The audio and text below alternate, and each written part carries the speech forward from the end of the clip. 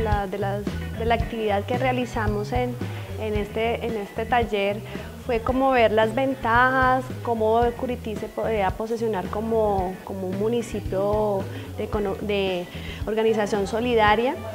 Mm, hablábamos sobre las, eh, digamos como las fortalezas que tiene el municipio, entonces los valores que tenían los curiteños, entonces eh, son trabajadores, son personas solidarias de,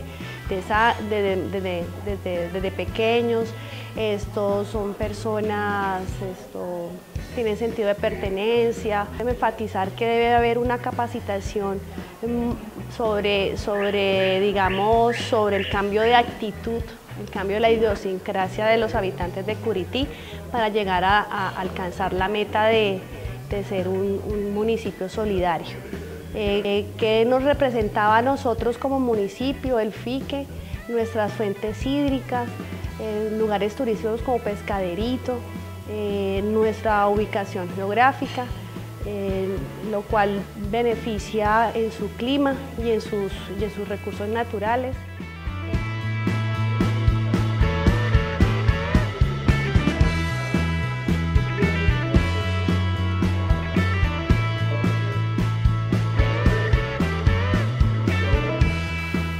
sido muy interesante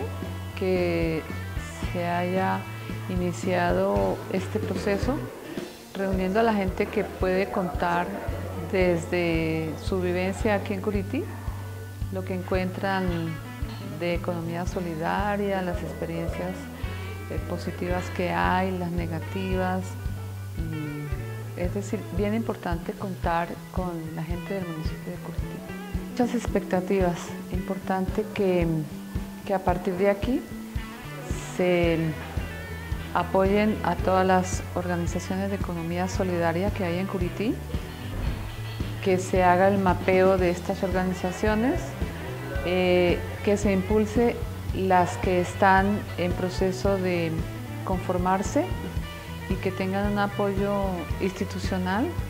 eh, para, para consolidarse como organizaciones de economía solidaria. Eh, tenemos también, tengo muchas expectativas de que se socialice esto para que la gente entienda el valor agregado que significa la economía solidaria dentro de una economía de escalas que les va a permitir eh, sacar, comercializar sus productos el tener un producto de calidad, vender a Curití con todos los valores que tiene, que son muchos, hoy hemos descubierto muchos, y que todos trabajemos en la tarea de convertir a Curití en un municipio más solidario.